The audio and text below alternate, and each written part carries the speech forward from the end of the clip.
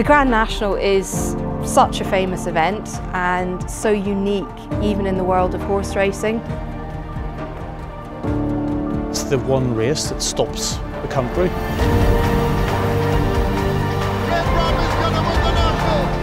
You looked at the Grand National as a race you were never going to win. And if you were lucky enough to be part of, it was going to be a treat.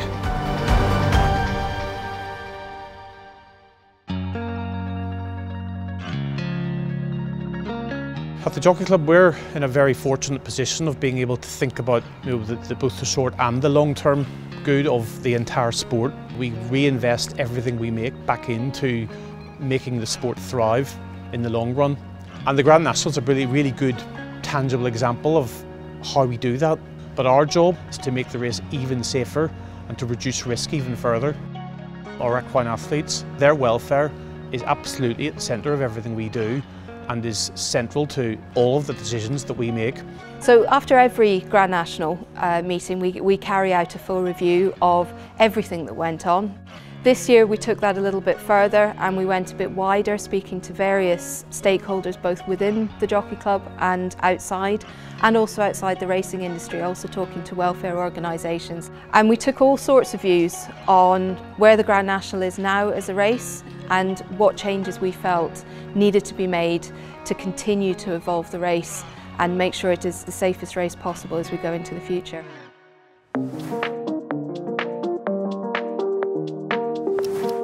One of the changes that is happening next year is that the Grand National will start a little bit earlier in the day because it allows the racecourse to provide the safest ground for horses to race on. We know that good soft ground is optimal for jump racing and research has shown that and as a result we always aim to produce good to soft ground for the Grand National. Even in April if it's a relatively sunny day, if there's a bit of a breeze, the ground will dry out quite considerably and we don't want the ground to, uh, to become too hard because we know that becomes more risky for the horses. By moving to that earlier part of the day um, it allows the racecourse to be in optimal condition at the time of the race.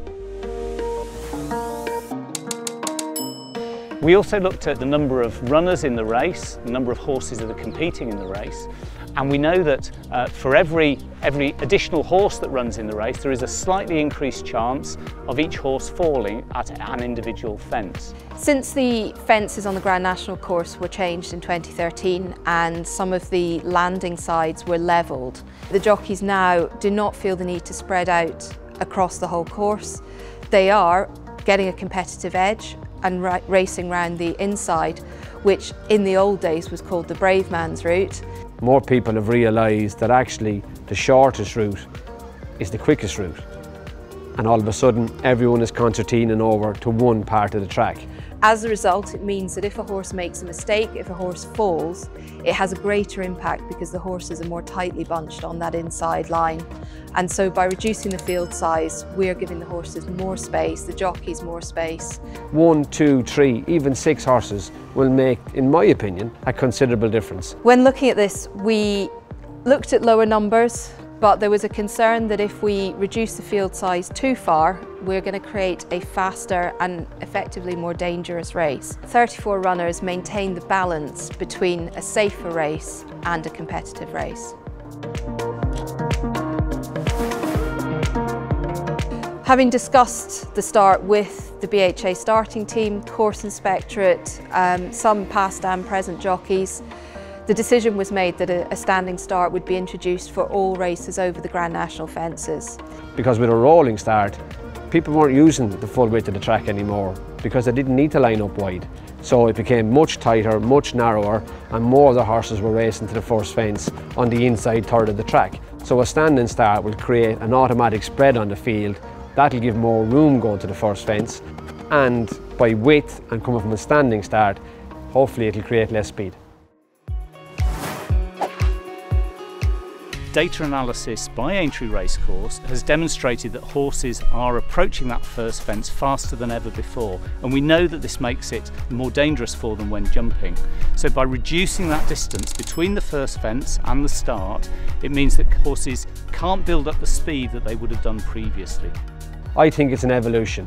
No, nobody likes change but unfortunately the world is changing and every sport has changed and racing has to change too and we have to be prepared to evolve if we're going to ensure the safety of the Grand National. I think we can be very proud of the fact that we have made these changes.